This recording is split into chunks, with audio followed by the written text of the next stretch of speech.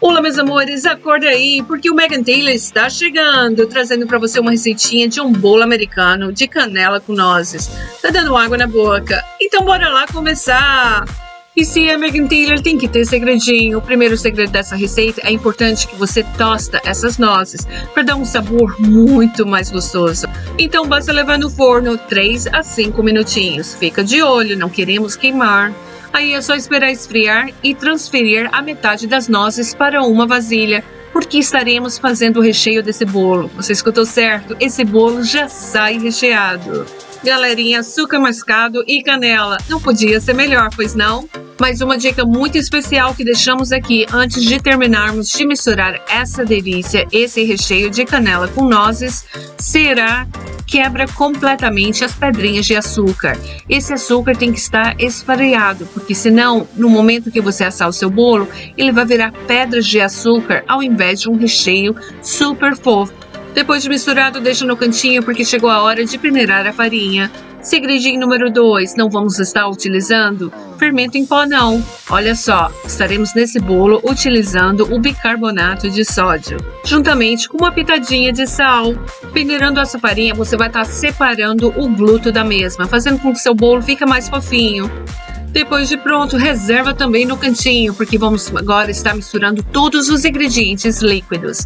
Manteiga e açúcar é considerado ingrediente líquido no mundo dos confeiteiros aqui dos Estados Unidos.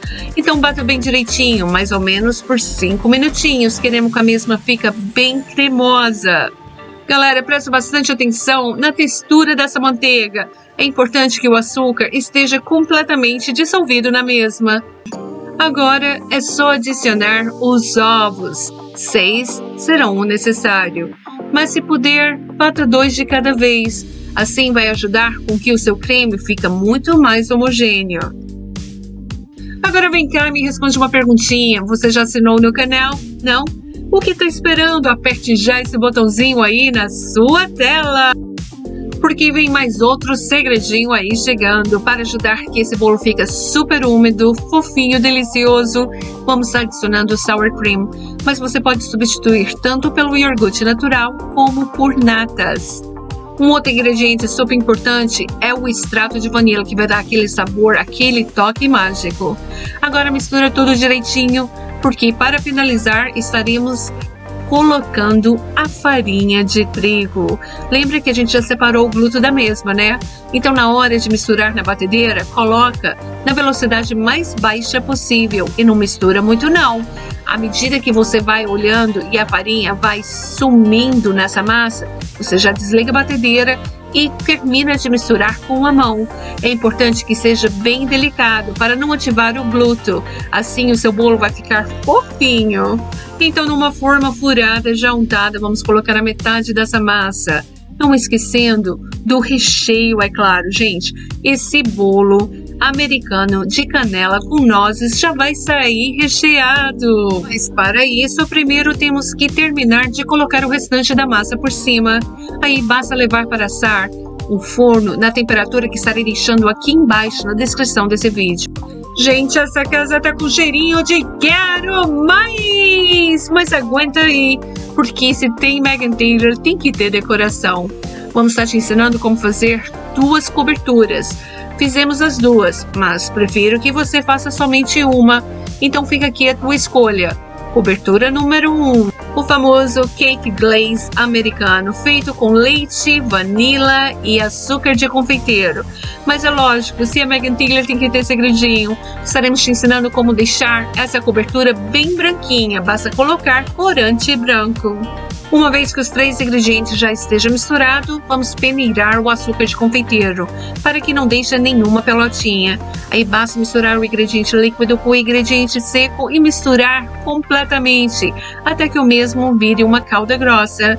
Neste momento, basta colocar por cima do seu bolo e deixar secar. E aí, tá preparado para aprender a calda número 2? A de caramelo com nozes. Gente, a minha predileta, uma delícia. Basta manteiga, açúcar mascavo, um pouquinho de água e leva já para o fogo, fogo médio, mexendo sempre sem parar até que eu mesmo vi uma calda bem cremosa. Olha essa espuma que linda! Nesse momento estaremos colocando o ingrediente secreto, um pouquinho de creme de leite ou chantilly, você escolhe. Isso vai ajudar com que a nossa calda fique sempre cremosa, sem açucarar. Depois de mexer e formar aquela delícia, vamos estar adicionando as nossas nozes tostadas. É importante que esteja tostada para dar aquele sabor tudo especial. Voltando a mexer novamente até que a mesma forme uma calda bem rala, mas consistente.